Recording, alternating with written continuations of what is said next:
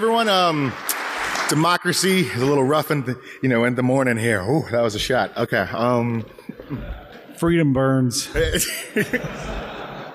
love it. Yeah. So you know, I'm Josh Franklin. And I'm Kevin Franklin. You know, and we're gonna talk about some of the like uh, like online election hijinks that we've been seeing since 2012, and then basically talk about our efforts to protect the 2018 midterm elections. We'll uh, basically be seeing some uh, some typo squatting on like uh, you know large, w- well-known political figures, political parties. Also, take a look at malware inside of uh, campaigns um, and state uh, state election websites. So this is a real important disclaimer. Um, this this work really does not represent the opinions of our employers. Uh, this is personal work.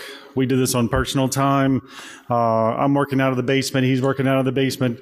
Uh, it is intended to be party agnostic, despite my goon-like colors. Am I, am I blue one? Yeah. So, so not a goon. Yeah. Yeah, so this, you know, this is your typical voting machine. Uh, it is something that folks have been, you know, spending uh, a lot of really good time looking at in uh, investigating since the year 2000. 2002. We are not talking about these. Uh, we are, you know, going to be talking about the stuff that actually has been uh, attacked. We're going to be taking a look at all the things surrounding, uh, like these systems to make these things function. Here's the agenda that we'll cover today. Uh, we're going to talk about the history of our project. Uh, it's been a labor of love for us. Uh, we'll talk about the methodology of, of how we do what we do. We're going to spend some time trying to educate you and uh, inform you about the elections infrastructure. Uh, we'll look at some results of some campaign analysis that we've done. Uh, we'll look at some state results. We'll look at results of scanning vendors. Um, we'll have some recommendations and we'll have some con- conclusions at the very end. Okay, so on this slide, I got to hold the sword. Not fair. Uh, it was a big deal for me, so uh, I wanted to have a white hat, a white top hat, but uh, uh so I'm Kevin Franklin. yeah, and I'm Josh Franklin, uh, and uh, so I've been in the game since 04, uh, since I started in college. Uh, I've been working with you know election systems in some form or fashion ever since. I helped set up and you know run and repair uh, voting machines in the state of Georgia for about six years, five years um, while I was in college, uh, and then I moved to the U.S. Election Assistance Commission, where I uh, uh, basically did testing and certification of voting systems, uh, and then I moved uh, to the National Institute of Standards and Technology, where I've been basically leading some of the cybersecurity aspects of the voting project there. I have recently worked there, and I'm not speaking for any of those folks. yeah, and, and my background is IT. I've been in IT for about 30 years. Um, my my history really is in performance and optimization of code, transactions per second. Think of it that way. Um, early on, I did some work with uh, with Lockheed and with NASA. Uh, I've been in big data for about the last 20 years, and I work for a financial institution.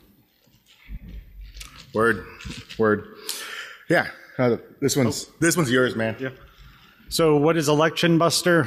Uh, getting getting terminology right is uh, is often a very difficult thing. We tend to overuse the word election buster. Uh, it is a Python application that we've written. We call that election buster. It is also a software suite that we've written that's called election buster, and it's the project itself. Um, but everything that we do is uh, is all about protecting the U.S. election uh, ecosystem. Um, the scope this scope is very large. Uh, there, there are lots of candidates. Uh, there, there are tons of election officials, many different voting system manufacturers, service providers. Um, the initial thrust of, of this effort started with trying to find fake presidential sites. And currently, we're assessing different campaign infrastructure and the online state and local infrastructure. And we are identifying fake sites for candidates, PACs, and states. Yeah. So this all started in 2012 as a as a George Mason project. Um, go Patriot Hackers. Um, you know, this was just something that I needed a semester project for, and I thought it would be interesting to take a look at, uh, you know, who was basically typo squatting on Mitt Romney and oh, you know, uh, and Obama. Um, we were basically just hunt and peck typing, trying to find various, uh, you know, fake sites. Uh, shout out to you know Robert and Matt, who basically uh, were you know uh, really end on the on the ground floor, and, and, we actually presented our initial results at ShmooCon in Fort uh, in 2014. Uh, after that, we uh, we released the first version of our code um, at BSides DC in 2015. Uh, since then, we've been basically collecting huge amounts of data, uh, looking at all the infrastructure that we can find, uh, and we were really focusing on basically having a you know measurable impact for 2018. And I I think that you'll see that we basically got there. All right, this is this is how we do uh, our election buster work. This is uh, this is the way we do it. Let's say we're we're interested in a specific uh, office and analyzing that. Uh, we'll obtain a list of candidates for that are vying for that office, um, and we'll also get state election websites that we may be interested in as well.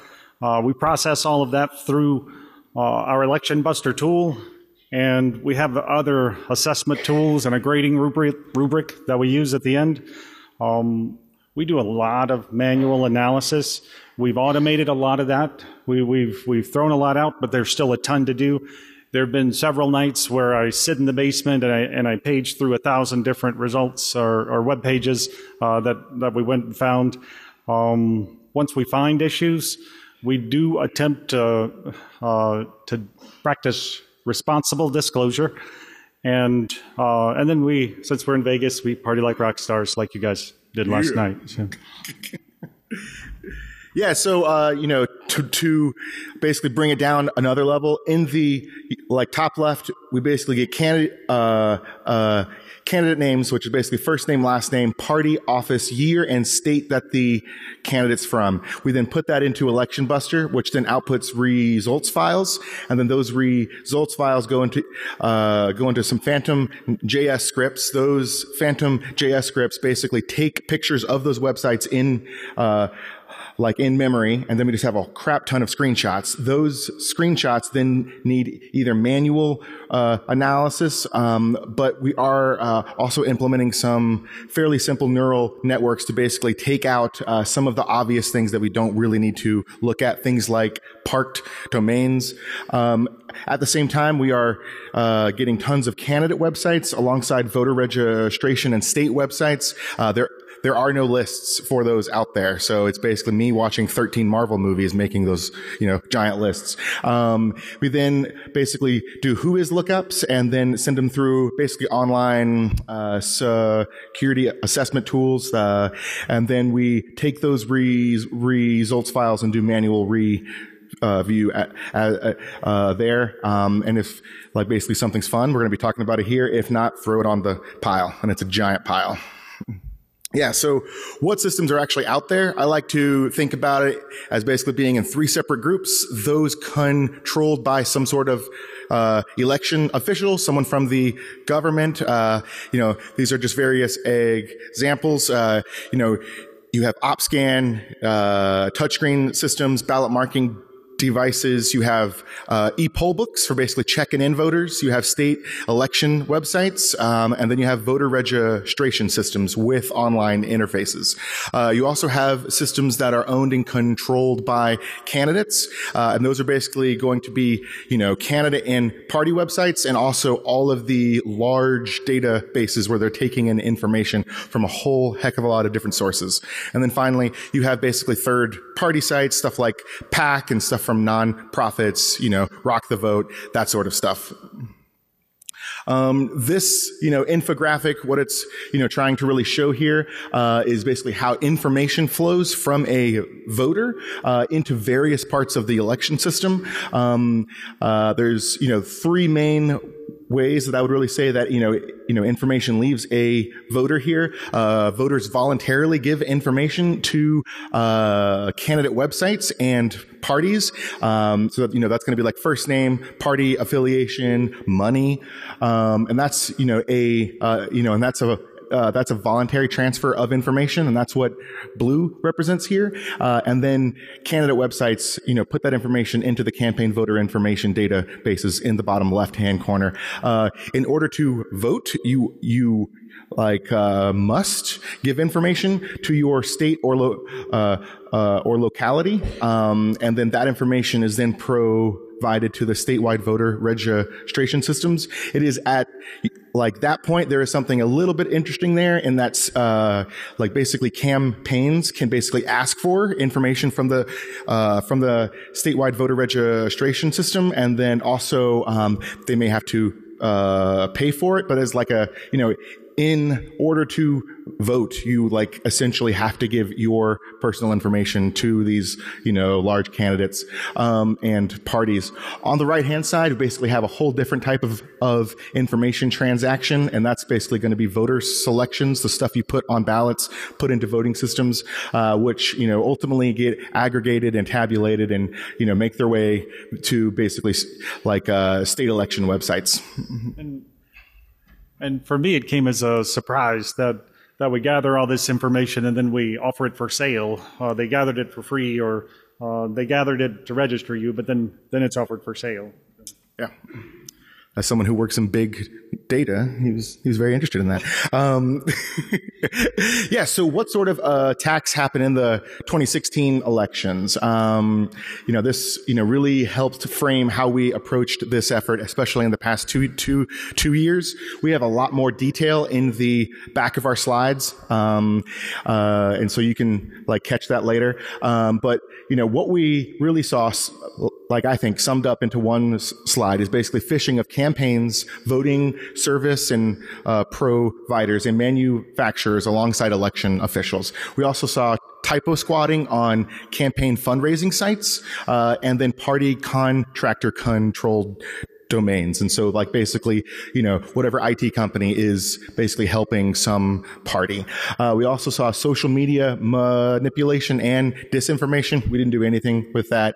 There's actually data breaches at the federal, state, and local levels of, um, you know, of you know, private data essentially. Um, and then we also saw data breaches in candidate and campaign systems. And so basically, you know, if there was data to be breached over the past couple, couple years, it has at least happened once. And one of them was here at DEF CON inside of the, um, you know, voter hacking village, uh, you know, big, big shout out to the to the voter hacking village, right? Uh, really, really cool. If you haven't stopped by, you should. Um, so they basically found a uh, you know county voter information database, essentially, uh, like on an e-poll book, and it was just part of the voting m- machines that they got uh, a a hold of. And then there was like basically direct uh, attacks on online voter registration systems and campaign infrastructure. And here's my campaigns 101 slide. Um, so for for this midterm uh, election cycle, there are thousands of candidates that are running. Um, we've scanned a lot of them. We've scanned most of them, but I'm sure that we've not scanned all of them. Uh, we've we've got we've got a ton of information, uh, and you know, as you might expect, most of these campaigns are are pretty small and uh, these guys have little or no IT experience. Um, and then you have just the opposite of that, the, the larger campaigns, which might have a sophisticated uh, staff and uh, a huge IT staff. Uh, we we did observe campaigns that are being run purely from Facebook or Twitter, Instagram, and Snapchat, and maybe that's what the the future holds. Is uh, our, our small campaigns like that are are cheap and they're secure, Maybe so. I like it.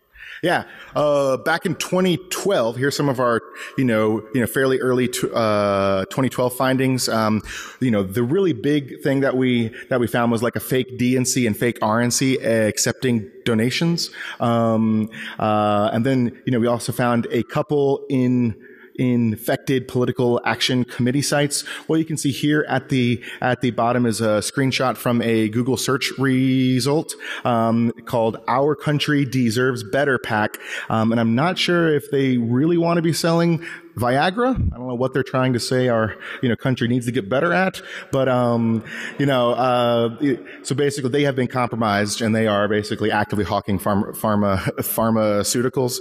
Um, this is, uh, you know, this is the fake DNC site that we, that we found at this point in time in 2012. Uh, the, uh, DNC did not own democraticnationalcommittee.org. Um, someone else did. Uh, there was also a, uh, you know, like an RNC corollary as well. Um, and this is a, it's an okay site. I mean, it doesn't super look fishy or odd, um, but there is a nice big make a donation button there. And those, um, you know, I mean, uh, from what we could tell, they were actively taking uh, contributions and not passing them along to the DNC. Uh, we reported this to the FBI, uh, and they were, you know, su- subsequently taken taken down in 2014 that's that's really when i was brought into the project by josh. He he, he brought me in to to look at some of the code or to give him a hand with some analysis. Uh, and it was really our first iteration of election busters. Um, we did find some in our NRCC sites that could potentially confuse voters. So you might be thinking that you're donating to a certain candidate but you're really giving to the other guys. Um, we found that some of the candidate sites were were actively distributing malware. Um, we also found some leakage of, of sensitive WHOIS information, and it did it did highlight the need to focus on on our analysis. Yeah, yeah. I mean, uh, so so this looks to to be a pro Ann Kirkpatrick website. It's got great web design. It's got a you know very nice picture, a very large donate button. Right, that's like one eighth of the whole page is that one donate button. Um, and but you know it, what you don't realize is if you don't read that small black text, you are actually voting for her uh, opponent. And we saw 12 other sites like like these, and there was a you know little box at the very very bottom of all these sites that said owned and operated by the National Republican Congressional Committee. Um, yeah, and those were really interesting. Uh, we have we found another one here. This is Phil Gingrey, I think is his first name. He was running for Senate in Georgia. Um, his site was just uh, basically distributing malware to anyone who happened to stop by. Um, probably not the best way to get campaign Um, is to you know have a nice dropper there. Um, yeah, we tried to actually contact him over Twitter to no avail. Um, this is where we first ran into you know responsible disclosure being a big big problem and saying, hey, actually, it's kind of difficult to contact these folks and let them know uh, that they need to, you know, sort their stuff out. And this is the output from our election buster application. Uh, it's it's a directed graph. Is uh, the representation here? Perhaps the text is very difficult for you to read uh, out in the audience, but at the center here, you can see uh, it's Hillary's main site, HillaryForPresident.com. This is data that we gathered on election day of 2016. I took that data and put it into R. There's an iGraph package in R that's good for network diagrams. Um, some of the uh, some of the nodes around it are Jeb for president, uh, Rubio 2018. Um, let's see, Walker.vote and Cruz sucks. Uh, Cruz sucks. Okay, yeah, I got that in the mic really well. So, um, but but what you can see is you can see uh, how she is. Uh, I saw examples on both sides, but how she is uh, squatting on the domain names of several of her competitors, which is a common practice, certainly not illegal. And here's one for Donald Trump in the 2016 election. He did the same thing, uh, or or someone did the same thing. I don't know if it was if, if he did this, but uh, Jeb Bush uh, is being redirected to Donald J. Trump. Um, we have President Cruz, and we have Jeb for president. TED 2016 is going there as well. These are the fun graphs to draw.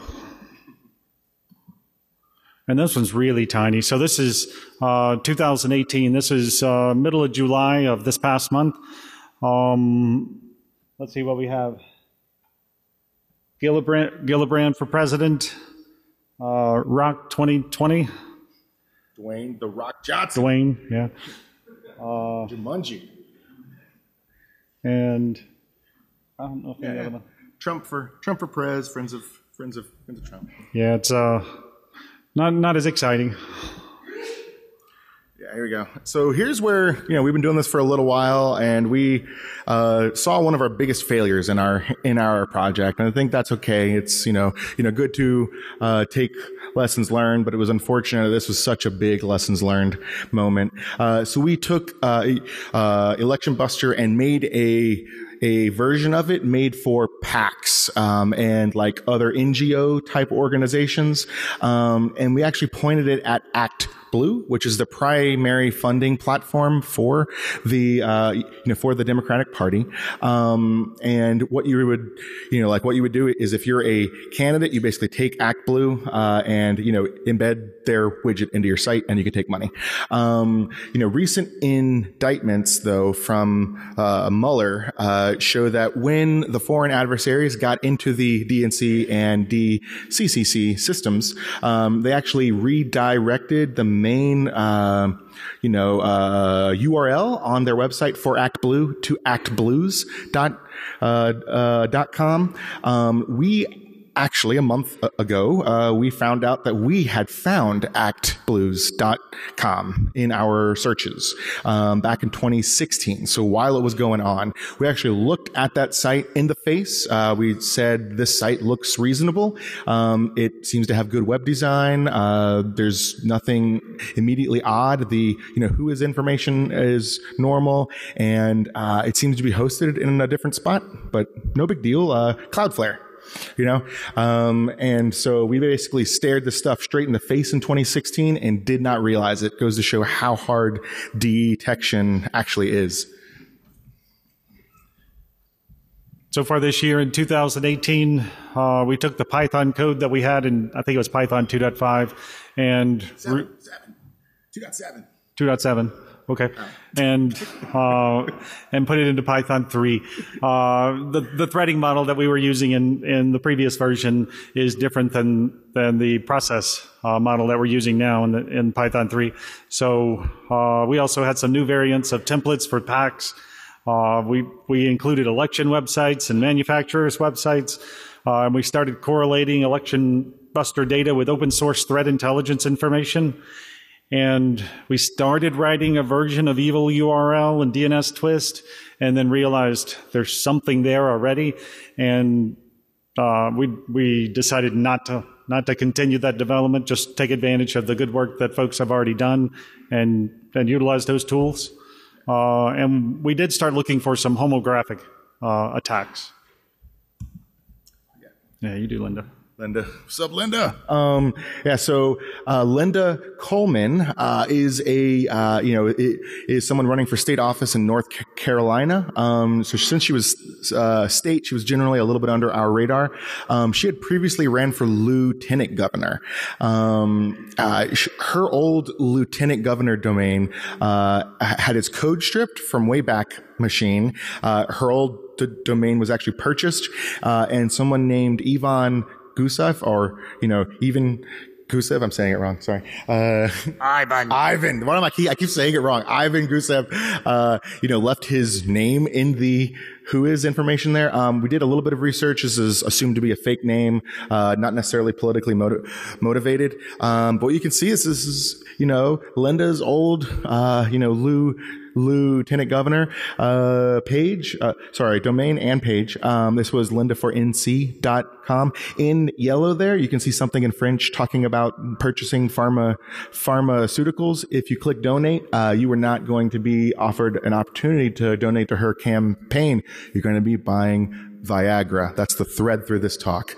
Um, yeah uh, so it's really, really weird though. Um, in some WHOIS interfaces, um, you know, it actually said Ivan Gusev. Um, and, you know, this one, it, it- just shows that basically a Russian national, uh, you know, owns this, domain. We don't necessarily think this is politically motivated. I just think that this person purchased this and was just trying to cast a wide net in selling their pharmaceuticals, but um, we're not sure. You saw the results of the election buster uh, output that I showed you before with the graphs, and uh, and I think some of the some of the intent was to say you need to be proactive and you need to protect your domain name space, uh, and you need to be uh, you need to buy some domain names that are associated with you or could be associated with you. This guy carried it to the nth. Um, he he went a little nuts and he bought uh, all of these names all around his uh, his namespace, and I think it's great but but maybe it's a little bit overkill. I think there's 37 uh, websites there, but uh, but that's cool. Go Pete. Go Pete. Pete for Congress. Comrade. yeah. So. this is uh, so this is a site that is you know electdevinnunez.com uh, someone wasn't happy with him uh, and made a nice tribute uh, you know uh, basically coded in the you know sickle and hammer and all that. Um, uh, so if you scroll down here you would see a bunch of russian oriented you know pictures with Devin, some really decent photoshops. I think the site is still active. If you wanted to visit it yourself, uh, there didn't seem to be anything wrong with it. Uh, but this is sort of an example of, um, you know, like a free speech issue. This isn't necessarily illegal or, you know, by any means. We saw this time and time again. Folks really just wanted to, uh, you know, throw up these sorts of domains. Um, another one that we saw was, uh, uh, Gillibrand sucks or gillibrandssucks.com. I think she's, uh, she's a Democrat from New York, and um, she had uh, this domain purchased against her, and it was redirected to the Democratic Socialists of America page. Um, you know, we want to like show some funny stuff from both sides there. Um, here is Carly Fior, Fior, uh, Fiorina's uh, current page. Um, you know, really nice. It looks it looks awesome. Nothing nothing fishy here. But then we found that her old site from like 2000 is still going. I don't know what kind of campaign money you you get to purchase like a domain for 20 years and hosting for 20 years. Um, but it's kind of you know it's kind of interesting. We saw tons of this. Candidates just leave their old campaign websites up forever. Um, I don't understand why. Uh, yeah, yeah. It just it's just kind of odd. And so I'll talk a little bit about the congressional site statistics. Uh, the stats that we're going to show include everyone running for Senate that we could identify. Um, all House incumbents are included in these stats. Uh, we, we included some of the races that we deemed important. Uh, there, there, were too many candidates for us to to include in, in some of this information, um, and likely there's some skewing towards incumbents. Um, and a majority of these scans we took in June of this year. We we did rely on Ballotopedia for pulling some of the candidate information. Thank you, Ballotopedia. You're awesome. So I'm gonna let Josh talk a little bit about some of these, but I want to I want to say that there's uh, in this grading scheme, there's an A plus, and there's an A, there's a B, and, and A is good, um, all the way down to T and F, uh, and then there's no grade. I wanted to put an F minus on the no grade, but Josh Josh wouldn't let me put an F minus there. But this is the output from our you know you know online scanners that we aren't allowed to mention b- because of licensing issues. But we're looking at TLS implementations, and there's grades involved. You figure it out. Um, yeah. So um, what's really great to mention here is that like you know over fifty percent of the you know folks in in the house you know over 60% have uh, a score of B or better. Um, there's about 30% of the folks out there uh, running for House um, have either no TLS or SSL, or they have a major cert issue. Um, and so we wanted to, to, try and contact all these folks, but it, it got really uh, time consuming really quickly to go to each of their pages and look at the information there and find an email address. Um, yeah, it got to be really, really difficult. Um, if you look at the Senate, though, uh, you know, tops House, bottoms Senate. Um, the Senate fares so much better. About 80% of folks just have an A, uh, and then, uh, you know, 4% had some sort of issue. Uh, we think that's because, the, you know, Senate campaigns are generally, uh, better funded and, uh, they, uh, yeah, yeah, I mean, um, I, I think that's just probably the answer that they're just better funded and around for six for six years. Um, if you look at some of the congressional TLS implementations, uh, you know, from left to right, we have you know TLS 1.0, 1.1, 1.2, 1.3, um, and then what you see is that on the giant bar is the you know total folks in the House who supported that that version of TLS, and the tiny uh, uh, bar is the total number of people in the Senate who support that, you know, that uh, version. And what you see is very small usage of TLS 1.3, which just came out. TLS 1.3 does awesome. Um, but, uh, m- you know, most folks had TLS 1.2, uh, fewer had 1.0, and even fewer had 1.0, um, and no one had SSL, which is kind of interesting. Really wasn't expecting that. Let's look to the states. Uh, the, the states and local jurisdictions, they also have websites. They, they host election websites as well. Um, those election websites, they provide uh, information, results, and, and they help register voters. Uh, the sites could be hosted by the Secretary of State, um, the, the, State Board of Elections, uh, or some other third party group like Cloudflare or Google. Um, the overwhelming majority use a .gov uh, top level domain. Others use uh, .us or .org TLD. Um, and about half of the voter registration systems they they move from .gov to .us or .org. Uh, just not sure why. It's it's a little little chaotic there. Oop, You're going everywhere, man. You just yeah, so this is what one of those voter registration systems look like. Honestly, they're just a web app. Um, I mean, you know, you basically put in information about who you are. There's basically knowledge-based authentication going on. Um, and this is how you register to vote in 37 out of 56 states and territories. Um, speaking of the 56 states and territories, Americans, uh, MOA is an, like, uh, unincorporated U.S. territory. Um, you know, they actually run separate .gov and .org sites, which is fairly common. We don't know why. Um, maybe the older .org site gets, uh, you know, kept alive. I'm just, I, am just, I'm really unclear as to why that happens. Uh, they were using Drupal and they were um, basically uh, affected by a Drupal vulnerability, as you do. Um, and they actually were do you know, we're distributing malware to all of the folks who came to their site. Um, it was uh, something that we, you know, contact them them uh, uh, about. There's a big time difference there, obviously. Um, uh, we actually called them up. Um, they they were a one person IT operation, um, and uh, they tried to fix it, uh, and then it kept coming back, um, and then um, it ended up being that you could only get the malware version of their site if it came from an IP outside of the US, which is really strange. I don't quite understand what's going on there. Maybe they knew about us and, or, or something. I have no idea. Something weird was going on there. Um, this is what the, you know, affected website looked like. You can see the, you know, Chrome address bar on the top, you know, on the top left saying this is, this is dangerous. Um, and so this was, you know, Americans, uh, MOA election office.org is the website here. Um, and then, then stuff started to get weird when we were reviewing uh, everything for this talk.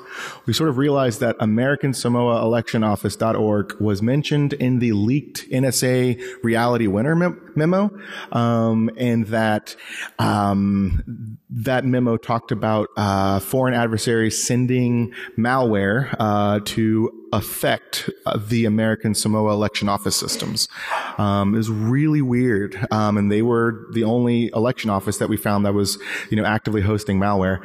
Um, uh, although strange, we do believe this to be coincidental, um, partially because it just seems to be a random Drupal vuln that was ex, like exploited. Um, and the fact that you have to come from outside of the US in order to get the page.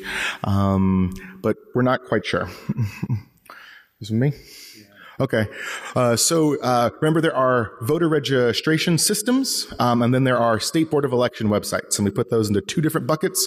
They host two different types of information, very, very different uh, sensitivity of the information there. Um, so the voter registration site grades. Um, you know, everyone's heard about these systems being under attack over the past two years.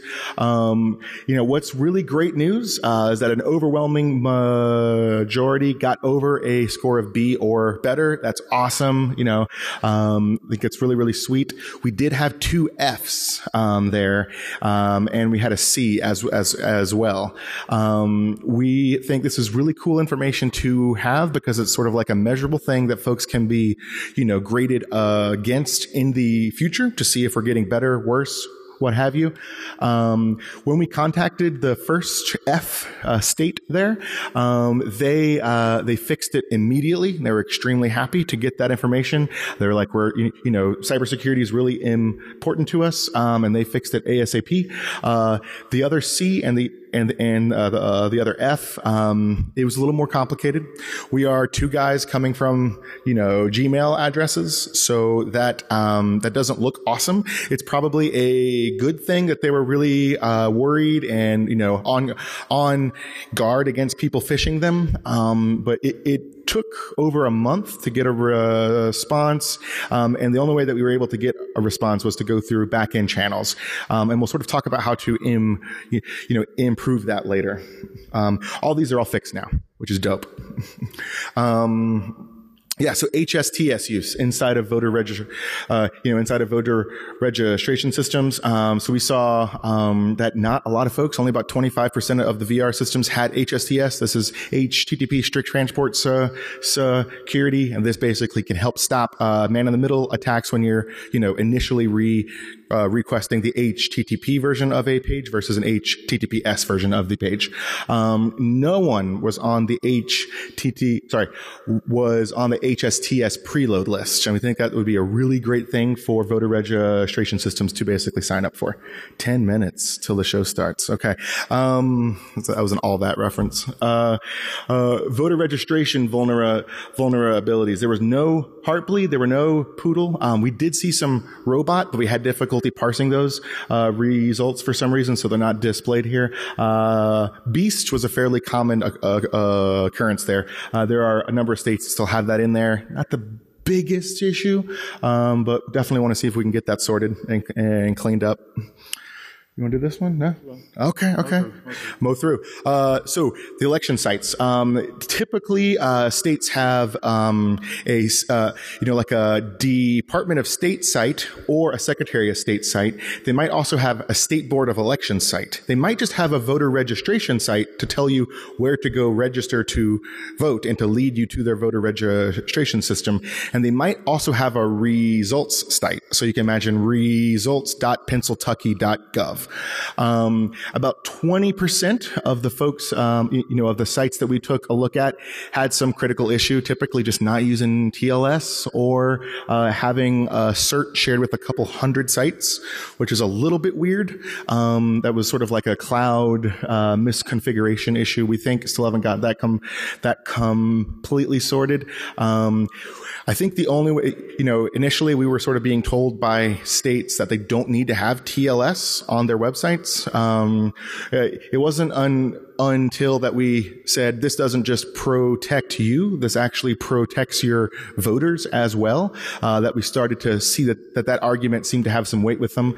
Um, and all these aren't quite sorted yet, but we're working to get these sorted. Um, these these sites were a little bit older. Um, they were a little bit worse off. Uh, Robot was also in about half, probably. Beast was in half, and there was also Poodle. No one had Heartbleed again, which is awesome. That's a great news. People should be saying good things when we have good news, right? Um, everything's not on fire. Um,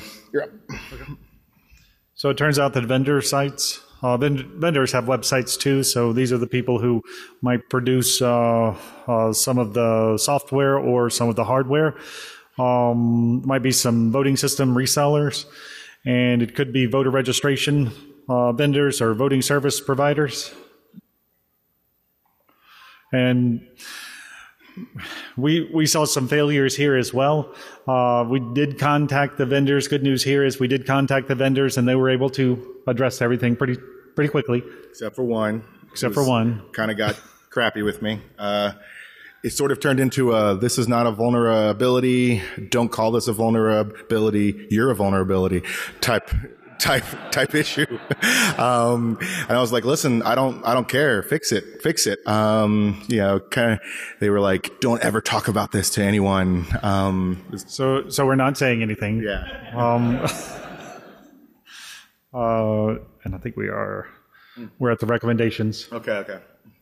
We got seven minutes left. We got this. Okay, so recommendations to campaigns. Uh, you know, beware what you click. Everyone already knows this. Uh, you know, two factor, uh, you know, auth, uh, even on personal uh, accounts. Um, I think the campaigns definitely know this now. Um, uh, but you know, here's a big one that still isn't really uh, uh, addressed. If you're going to run a website, you need to basically defensively typo squat on your own name.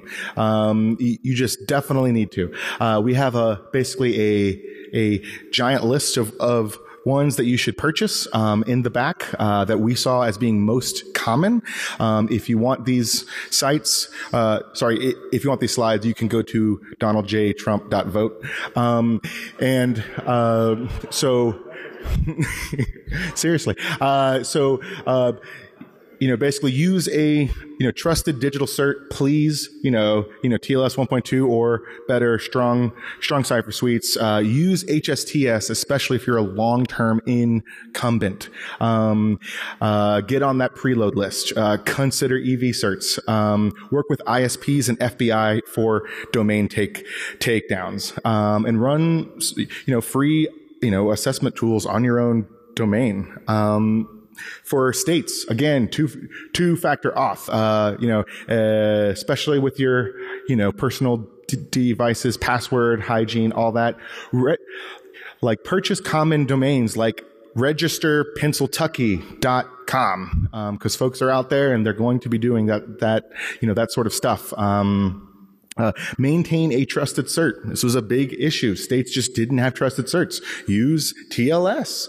Um, that's a really reasonable baseline web thing. Um, get on the HSTS preload list. Uh, it is free. It is one sheet of paper online you have to fill out. Um, if you don't have a .gov site, please get a .gov site because that was a big issue. Does anyone know the the domain to get a .gov site? .gov.gov. Yeah. Um, well played. Um, yeah. Um, so, you know, the, uh, the, uh, EI ISAC and DHS are out there to basically help with threat intel and remediation. Run open source tools against your own domain. Uh, don't just trust other, other folks, uh, but, you know, do get outside uh, assessments, vet them first, uh, and make it easy to contact you. It's extremely difficult for someone in this room to contact an election official about some sort of vuln in their site. Um, uh, also, uh, there's like a big new international standard out there, um, and you can, uh, you know, it basically talks about the best ways to make yourself uh, available. I think states should definitely take a look at that standard. Um, you know, use something like security at pennsyltucky.gov or alert at pennsyltucky.gov you know, the aftermath, zero sites with SSL, zero homographs, which was very interesting. We expected those. Um, a lot of HTTP. Uh, we had two big VR systems with a, you know, with a grade of F, one with a grade of C. Basically contacted campaigns and vendors, uh, about all sorts of issues. Um, we contacted all and worked with some states affected by, you know, likely typo squats, um, suspicious domains, poor, you know, TLS implementation, known vulns, uh, untrusted certs, and then malware actively on their on their site. Um, a little bit of you know some thoughts on the U.S. cybersecurity posture in the next two minutes. Uh, the situation is improving, yet there's still some common sense ways to you know make things better. Uh, um, and, you know, states are getting some monetary assistance from uh, Congress, but uh, yeah, you know we need more of that. Um, the whole community is responding. You know, the uh, the Center for Internet Security released an you know election focused handbook uh, on cybersecurity in elections. Uh, the uh, the Center for Democracy and Technology and the Center for Technology and Civic Life basically work together to make, um, you know, classes for for election officials to learn cybersecurity basics, and then the defending digital democracy effort is, you know, focusing on uh, campaign cyber out of Belfer Center in in Harvard. Last slide. Uh, you know, we need to continue defending our elections. We need to, you know, do more, uh, better at larger scale and faster. Um, uh, so we assess the bare minimum of web security. What was legal? Um, we honestly think we shouldn't have found what we, you know, what we uh, found. Um, uh, it is difficult to talk with election officials about some of this stuff, um, but that doesn't mean that it's not worth it. Uh, responsible disclosure is very important in the field of elections, especially when folks are actively using these systems to run elections. Um, listen, if you don't vote, you're helping the uh, uh, attackers. Uh, you know, you're ultimately, you know, making the system worse. In my uh, uh opinion, all this can be done by ordinary citizens. Uh, all you know, all of y'all can actually help here, right? Um, and if you want to help, get involved. Work the polls. Folks really, really need you. I like the woo. I like the woo. Yeah, that's what we'll do. Okay. Um, so for a copy of everything, you can also go to Please Go Vote. Um, thank you so much, everyone. Thanks, guys. High five.